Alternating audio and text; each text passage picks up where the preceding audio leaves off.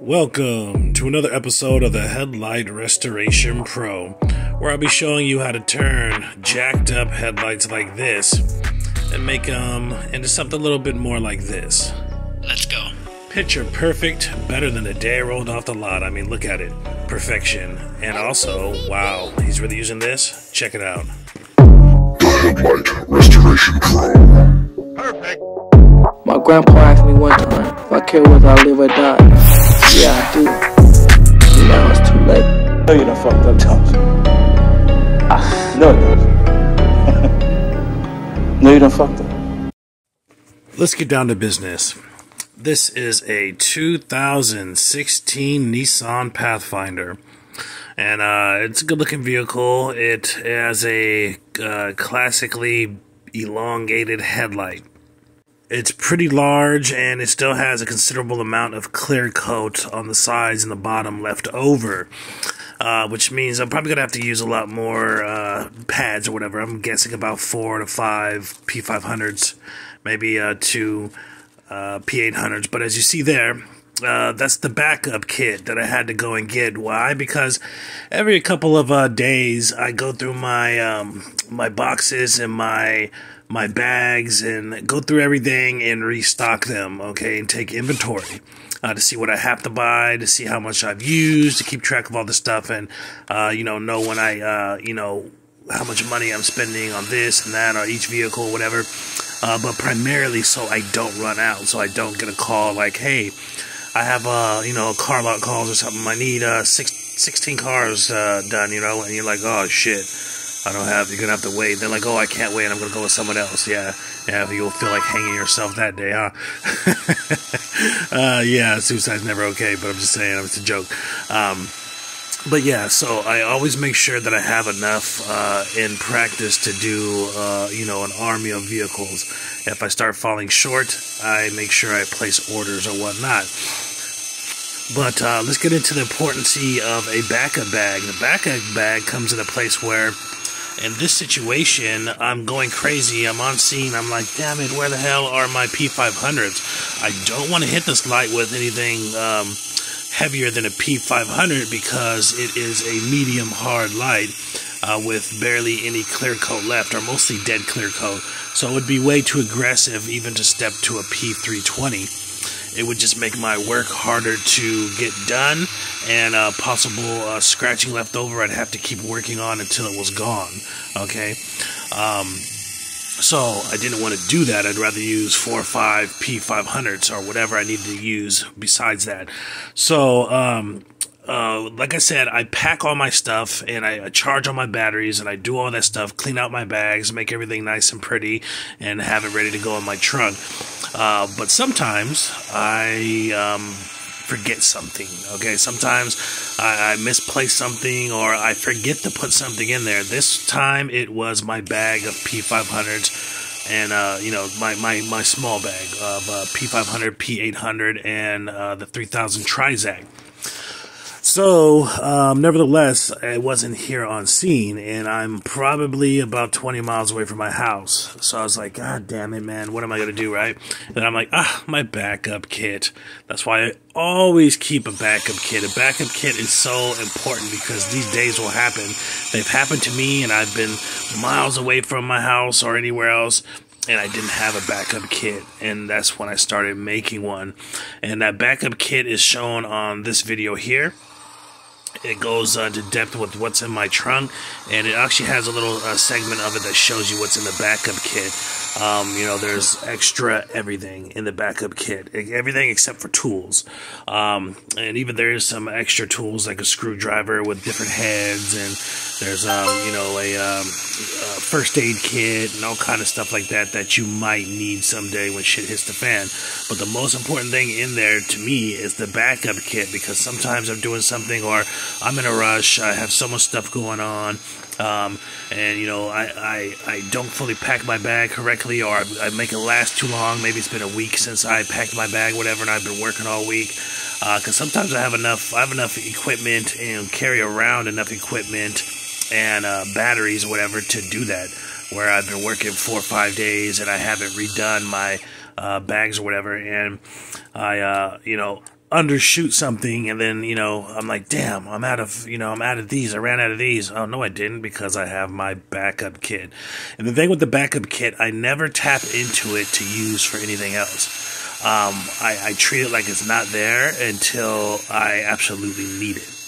Uh, that way when you know when you do need it is there so if you don't have a backup kit, you're just uh, causing yourself some future issues because, uh, believe it or not, this is going to happen uh, if you're doing enough or whatnot. Uh, this more so applies to people that are going out doing um, a considerable amount of vehicles, whether you're running a business or you're just getting started or um, you're driving around doing cars all day. Um, this applies to those people. The DIY person that's just going to be doing their vehicle, their daughter's vehicle, shit like that. You really don't have to worry about it too much.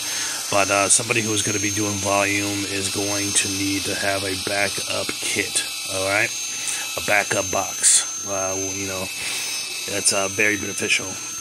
But this light is um, somewhat of a difficult light, not because um, it has crazy shapes or anything like that. It has a little bit of crazy shape up top where you'll see what I have to do to get that shortly. Um, but it's just really big, all right?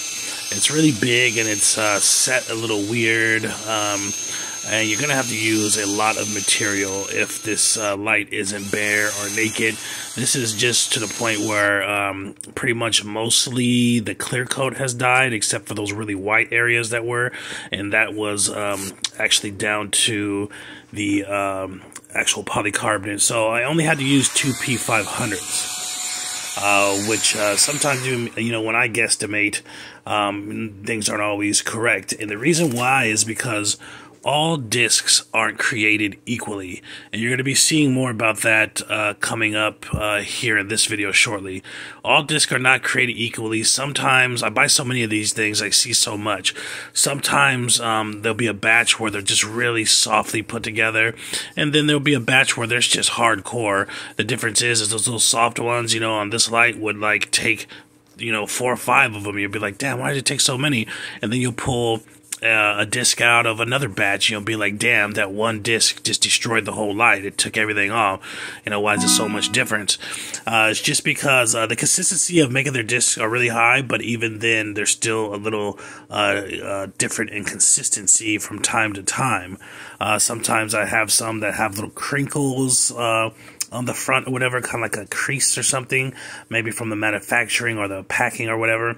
Uh, when you get those, you want to discard those because if you use them, you don't don't see it or whatever, you don't use them correctly. Um, you know, it's just it's a whole lot of shit that can happen. Uh, you can um, I've used one before and didn't notice it, and then like I have these swirls, these big drawn out swirls all over the light, gouged out. And I'm like, what the fuck happened? And I went back to the discs I just used, and I looked at it and was like, oh my god, this shit has this crease in it. Uh, which just means that, like, you know, if you think about it, there's like a high point that's just very microscopically higher than the um, other uh, parts of the pad, but still that can make a huge difference when you're talking about sanding whatnot.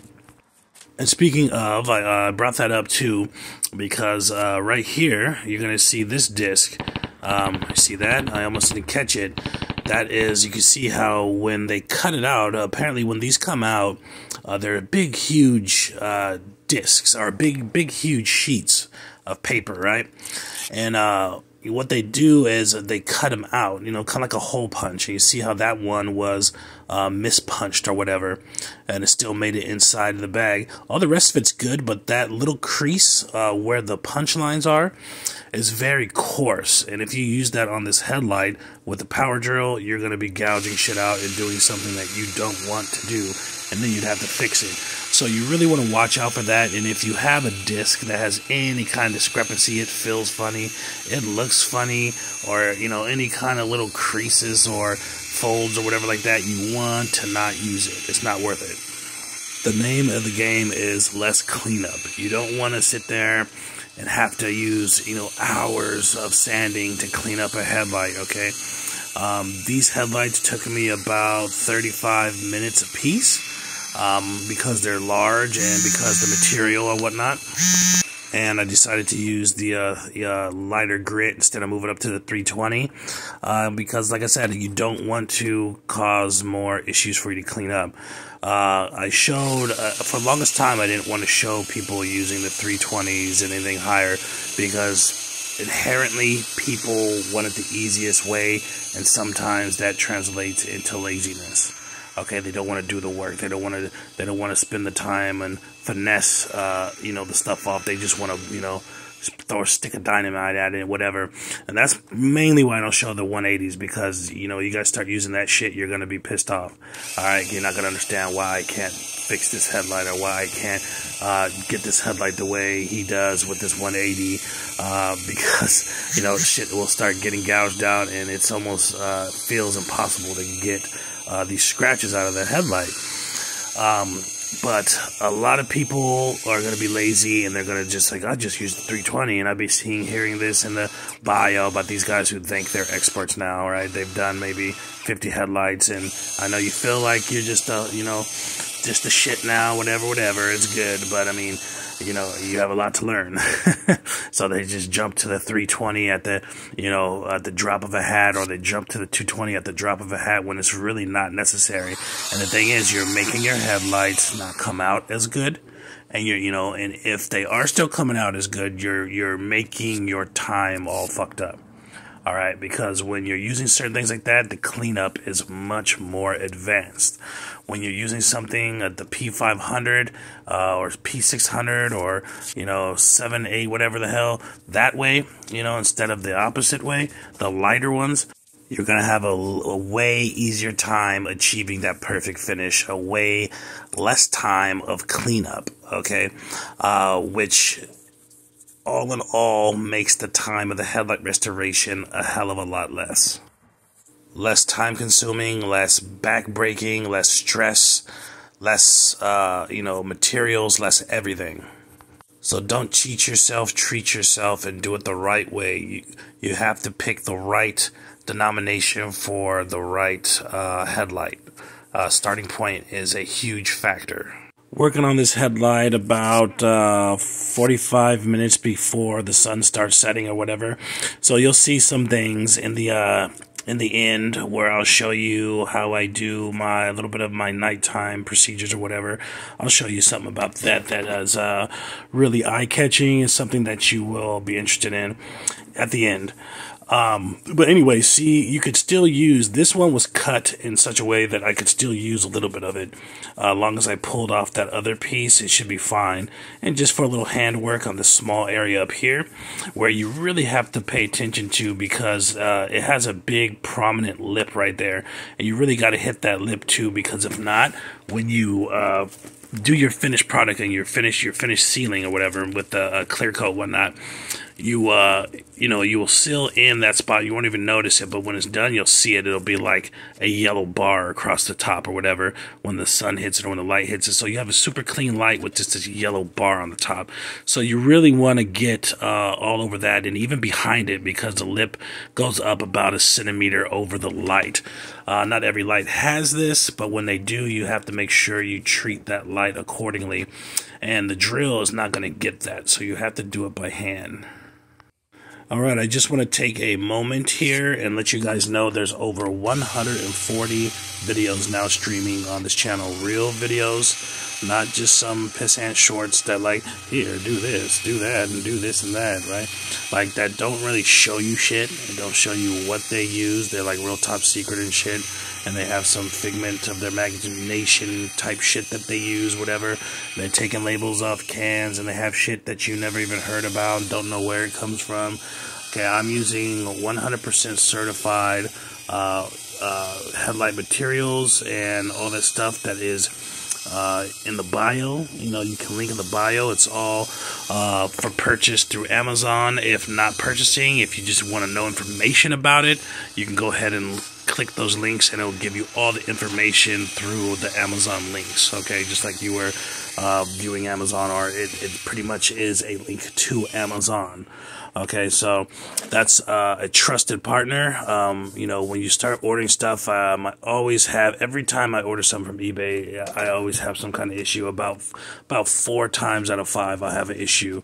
There'll be something wrong or some kind of dangle, and the return policy is shit. I'm just gonna let you know right there, it's shit. People, it's just funny. I don't like using that platform, but Amazon, I've never had a problem that they did not fix. Okay, uh, they even bend over backwards. I've had stuff where I forgot the return date, and I called two months later, like, yeah, I was out of town or something, something, blah, blah, blah. And they're like, okay, we're going to do a courtesy for you, and they still return shit. Amazon has the best policy, okay? It's the safest place to do your shopping, believe it or not. It's even safer than walking in uh, a freaking store and getting shit because it's just the best return policy. You don't have to deal with anybody. It comes to your door. That's it. Um, but I mess with Amazon. All my all of my stuff that you guys are seeing is 100% through Amazon. Uh, well, let's just say 98% through Amazon. Okay, um, it's just the way I do stuff, and it's just I mean the quality of everything is high, and they are very stringent with their um, with their uh, merchants, and they have their own stuff that's very well put together business. Okay, it's the probably the world's biggest business, one of them. Um, of course, everybody knows that, so you don't have to worry about uh, where your shit is coming from or if I'm gonna get burnt. Okay, so that's all the links I use in my bio is through Amazon.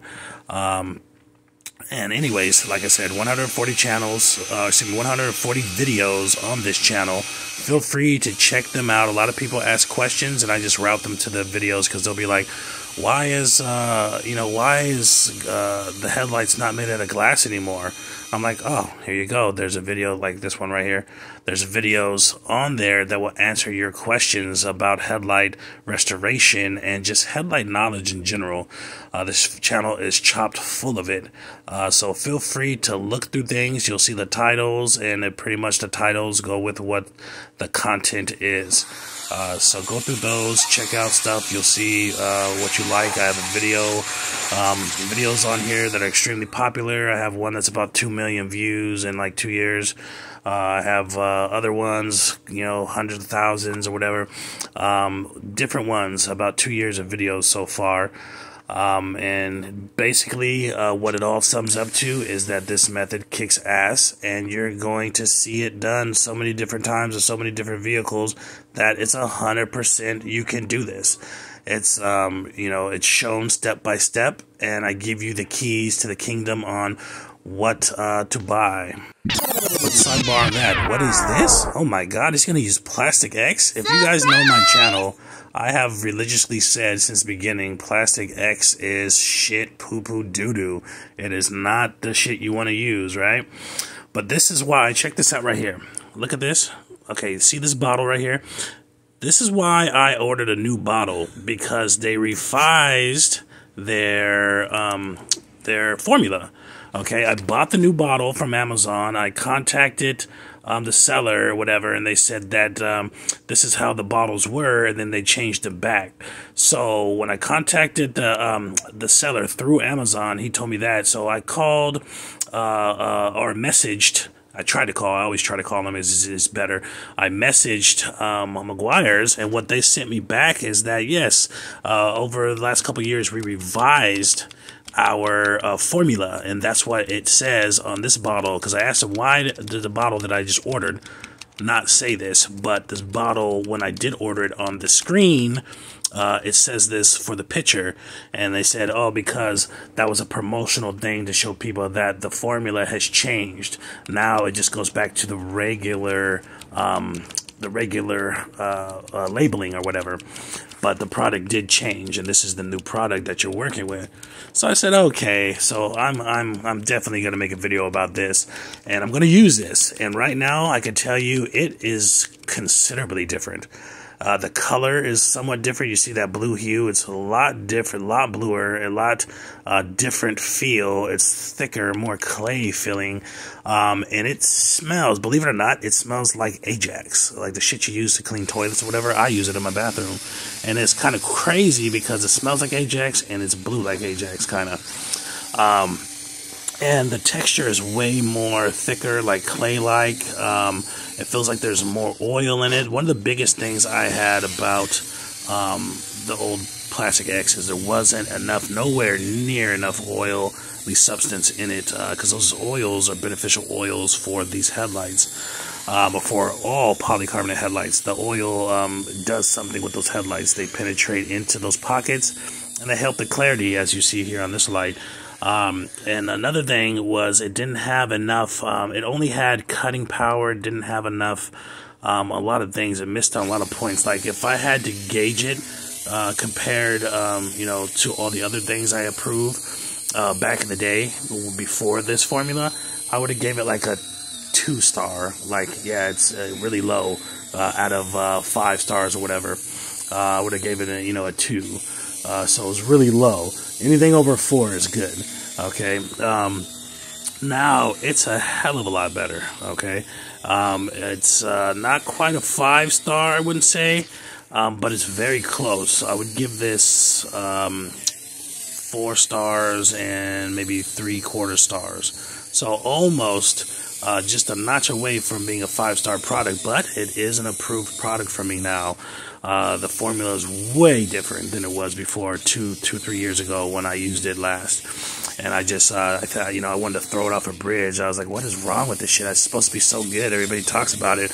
But in, in, in standard compared to all the other stuff and compared to the 3M, compared to the other things I use for headlights, it was just so low on the totem pole. So I think now they kind of knew that and the technology for uh, headlight restoration polishes grew and they kind of jumped on the wagon because, you know, they all, they all, um, you know, analyze each other's products or whatever and they kind of learn from each other and then they start making better products because this product is selling so good and this product works so good and they're like why does it work so good? And they it's easy to reverse engineer somebody if you have a lot of money you know what i'm saying? You can have you know pay one scientist he'll tell you everything that's in there. But what I notice is the cutting power is way up on this, okay? And from the last product, uh, the last formula, and the oil content is way, way up on this uh, from the last product. It's not as dry as it was before, although uh, that is the accountability for the um, three and a quarter star instead of the full star. Is I still feel it needs to have a little bit more oil content. Um, with that being said, this would be a great mix with uh, the chemical guys. Both of these together, I haven't done it but I'm pretty sure, with my knowledge and my experience, that that would be a kick ass if you formulated it correctly. Maybe a, a two to one ratio, or excuse me, um, uh, two thirds ratio uh, to one third ratio of chemical guy. Um, so yeah, it's an approved. I approve it now to use on headlights with this method. Works really good. Works really good. It's really um has a nice little abrasiveness to it. It has really good cutting power. So I do I do approve it, and you'll see the finished product. Um, as I saw you right there, I used the pink mask. I usually have black ones, but I ran out and I still had some left over. My woman had some uh, leftover pink ones uh, in the garage, so I just started using those instead of buying a new one. So um, sometimes I use just a regular N95 mask because the particles of the sanding will not go through those. But as you as I'm showing you, the heavy duty mask I use for the Meguiar's, okay, any kind of spray or even even the touch sealant, it stinks so bad you need to have a respirator on uh, because you, when you're breathing that and you're smelling that and you're tasting that, that means it's going in your body. That means it's going in your lungs as well.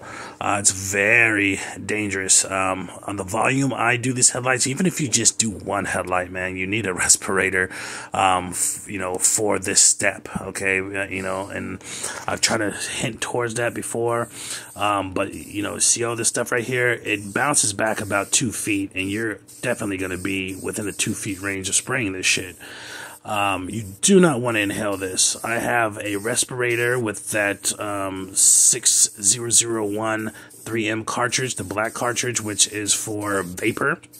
Um, and I also have the extra cartridge that goes on top to kind of boost um, boost the filtration system of any kind of vapor. So I have extra shit on top of mine because I know how deadly this stuff is. And that's not just this product. That's any kind of spray product of, of this type. Uh, any kind of headlight clear coat. Okay, paint in general, but these uh, clear coats are even more deadlier than the paint. All right, so you want to use that at all costs. Okay. Uh, so that's just a form of warning. I've done it before, and I'm just letting you guys know now. It'll ruin your day if you breathe this shit in, and it could ruin your week, and it could ruin your life. okay, if you continue to breathe it in. So don't do it. Uh, that's the Headlight Restoration Pro saying uh, safety warning. Uh, but uh, look at this here. Beautiful headlight now. Look at that. Perfect.